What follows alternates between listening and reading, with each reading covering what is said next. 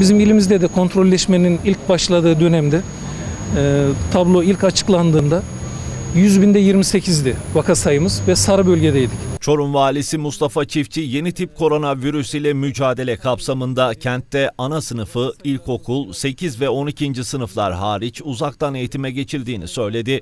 Dün akşam Milli Eğitim Müdürümüzle de görüştük.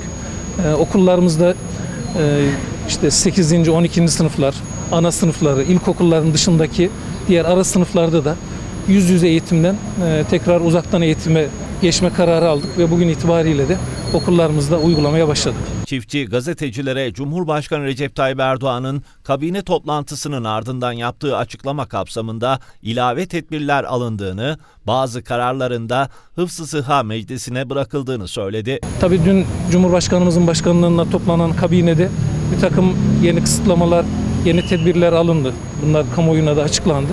Bugün Hıfzı Sıha Kurulumuzda e, bu e, Hıfzı Meclisimize bırakılan e, konular da var. Yetki dahilinde olan konular var. Mesela e, en başta hafta sonu tekrar sokağa çıkma kısıtlaması geldi. Cuma günü saat 21'den pazartesi gün e, saat 05'e kadar sokağa çıkma kısıtlamaları tekrar gelmiş oldu.